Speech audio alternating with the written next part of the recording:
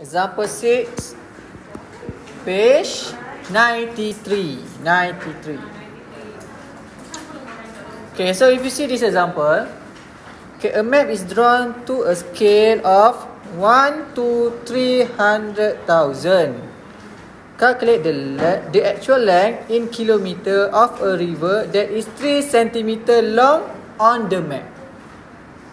So, first and foremost, you should understand given here the scale 1 to 300,000. So means that your image is smaller or bigger?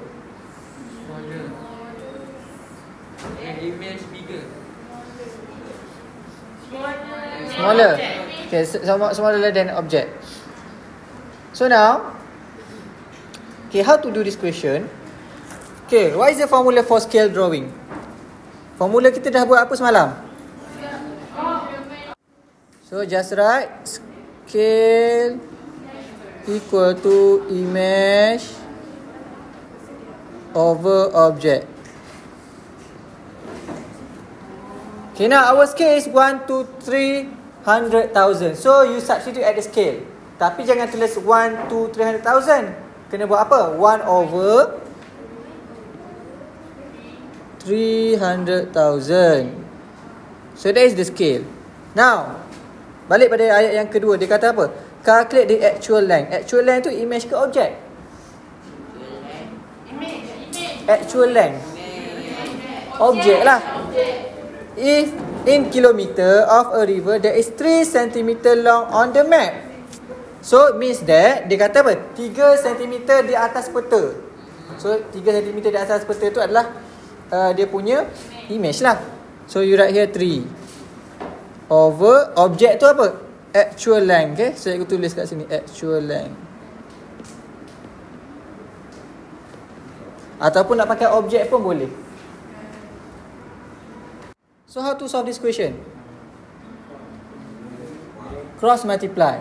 Okay, cross multiply. So actual length equal to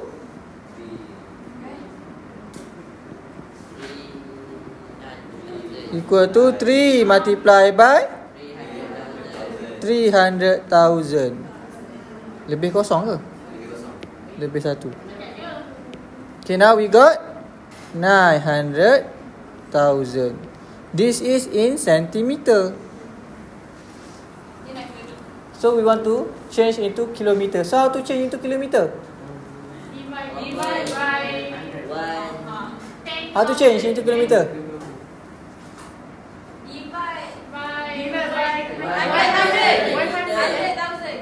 Okay now we revise again. Meter, kilometer, meter, centimeter.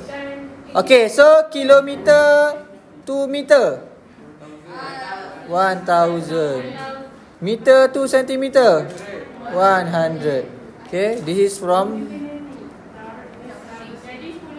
Okay, kalau kita cikgu nak tukar daripada centimeter to meter, divide by 100 meter to kilometer divide by 1000 so now we want to change from Kilometer.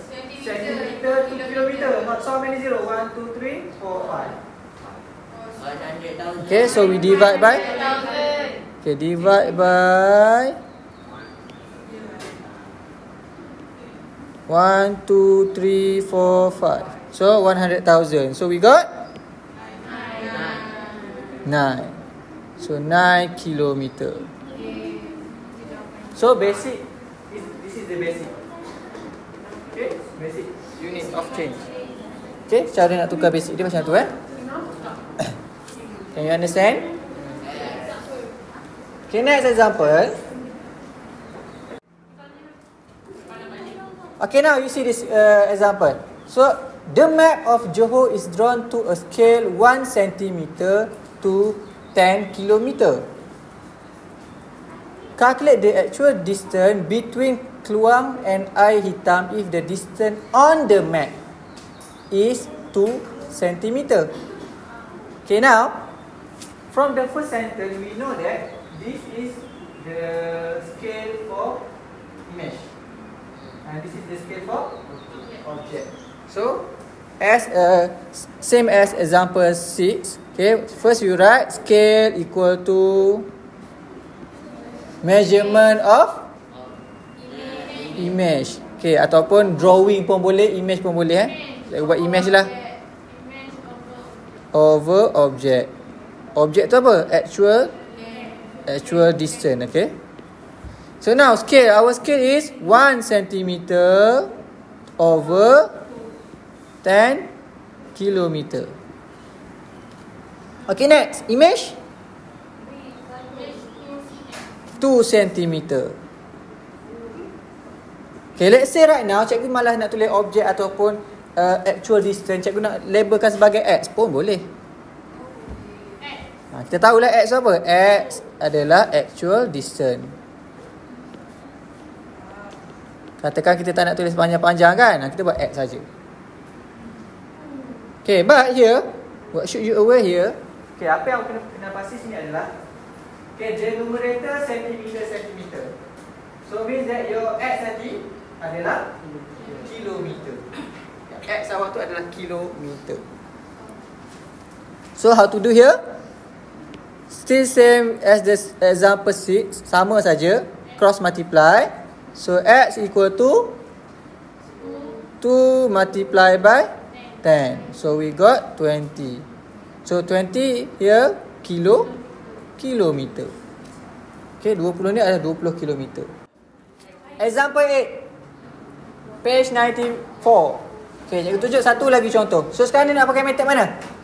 Nak buat ratio tadi ke apa? Tu. Okay, nak kita tengok kita buat yang kedua eh.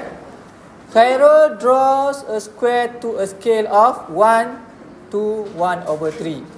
So from the first sentence here, you should know that your image is bigger for 3 times.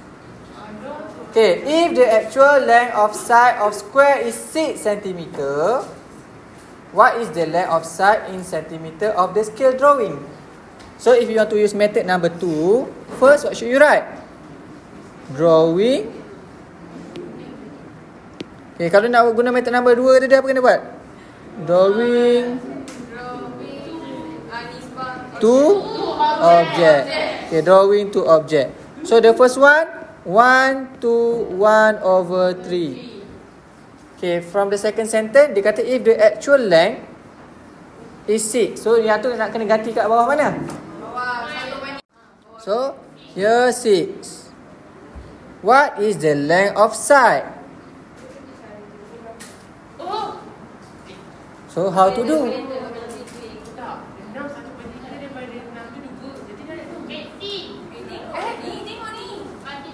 Satu per tiga adalah enam. So kalau kalau satu berapa X dia?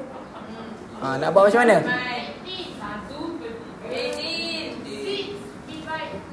Okay. So. 6 divided by 3. Multiply lah. Ha, kalau rasa susah pun buat je cross multiply. Okay boleh buat juga. So X multiply by 1 over 3. 1 over 3x equal to 6. Okay, I repeat here. So, if you want to do cross multiply, x multiply by 1 over 3. 1 over 3x. 6 multiply by 1. 6. So, if you want to, uh, to find x, 6 multiply by 3. So, x equal to 18. Okay, x equal to 18. Sentimeter ke? Yes, sentimeter. Ni kalau cikgu buat macam ni sebenarnya sama macam method number one pula kan? Tapi method number two. So sini adalah mungkin kalau dalam pecahan tak susah sikit nak nampak. Satu per tiga darab berapa dapat enam? Ha, itu apa Satu per tiga darab berapa dapat enam? So, satu per tiga darab lapan belas dapat enam. So, belah sini pun satu kena darab dengan lapan belas. Itu maksud dia. Okay? Tapi kalau dah pecahan mungkin tak berapa nampak.